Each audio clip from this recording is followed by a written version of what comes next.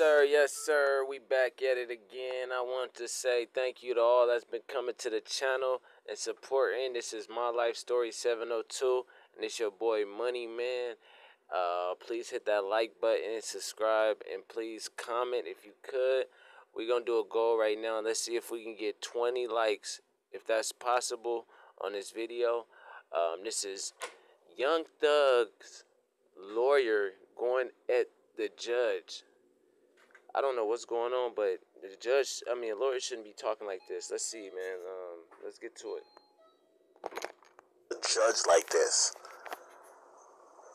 Yo, he's he's getting at that nigga, bro. Why you do this? I didn't do anything wrong. I did exactly what you teach me to do and the courts teach me to do. But instead, no, no, I gotta finish this. Then I get told to this You heard him? Yo, no, no, nigga, I gotta finish this shit. court. This court says by prosecutor Love that I'm not being candid with the court and I'm misrepresenting because Mr. Bean never went to the hospital at Grady on September 11, 2013, and Miss Love has a document on her desk to prove it. I sat right in front of your honor at the at the table at the bench and I said, I'd be careful what you say. That's not accurate." Mrs. Love looked down on me and she said, "It is accurate." You said, "We'll take a break, figure it out." After the break, you didn't even bat an eye.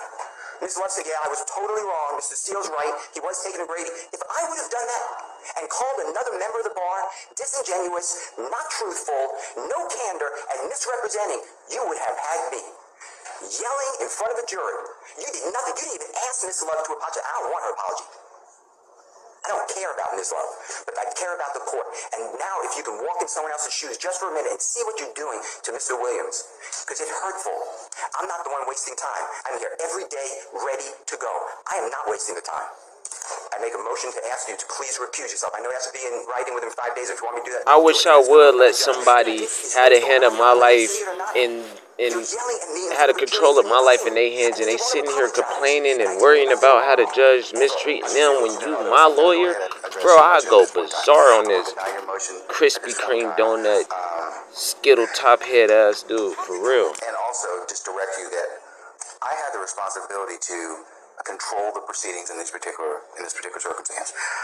Sometimes uh, things get kind of kind of heated, and that's kind of what that's the crucible and trial of any particular case. I am not in any way in, in, intimating insinuating that you are not professional, you are not prepared, but the things that I am bringing up to both of you, and I have I have trusted both sides for this particular issue of not being prepared in the sense of, and the only reason it it, it it affects the trial of the case is it makes the proceedings a lot longer than they should be because all these things could be taken up. And sometimes, if we've got to parse out all these things, as you can see right now, it takes time, and they, and that's what I'm kind of concerned about having been a jurist for a long time. So, um, I understand that you're a zealous advocate. Um, you in no way offend me by, by raising any type of motion. Uh, I think you're doing a, I think that you are represent, you and the others here are representing your clients well, but sir, I, I have to be able to control these proceedings. And you at times in these proceedings have not listened to what the courts told you, and I certainly could have explored other options. I didn't. So, I'll tell you that much to- for what it's worth. You allowed a member of the bar yesterday ask a witness, sassy, who constantly is committing respectfully potentially perjury. Did Mr. Steel shut off and turn on the recording? I never did that. I wouldn't do that, and I didn't do that. Okay, and sir, that's a- that's a- me- let sir, sir, that's a- I would have said that question to- about another member of the bar prosecution. You would have come over the bench and said, "How dare you?" I, I sat there and I said, "Outrageous."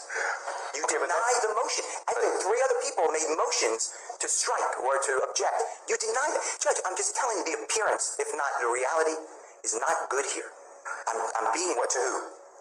To Mr. Williams. Okay, but it, Maybe to the others. Maybe you're his, you're, you're his advocate, okay, and that that to, that separate issue of whether or not you did what you did, the state accused you, the state accused you of that. They have the right to at least inquire about whether or not that particular that happened. Now, whether or not it happened or not, I'm not making any comment on it, but it goes to bias, it goes to motives to misrepresent. So, but, That but never happened. No, okay, but I, I'm not commenting. I'm not commenting on that. That's for the jury. To, that's for the that's for the jury to decide. I asked a question about a missing recording that I wasn't given.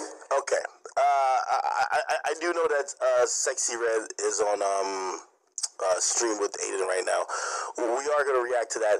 Uh, what I did want to show you guys is, you know, th- this is why this clip is like important in context because now they're saying. And lonely, just know it's gonna be alright. You gon' have them rainy times, a little thunder in your life. I see you trying to make a break, really fighting for your life. They don't know what you going through, can't see how you.